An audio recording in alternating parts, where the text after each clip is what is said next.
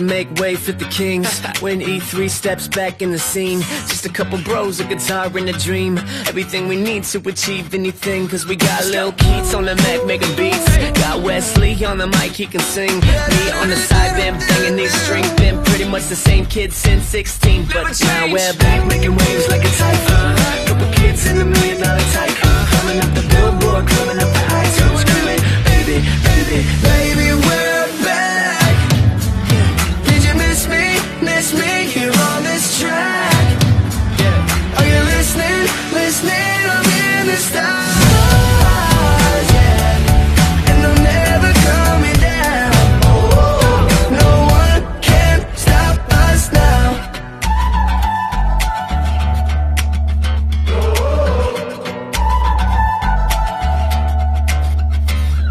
See, certain people tried to brand us without taking the time to understand us. I get the fact there's a business plan, but that shit damn near broke the band up.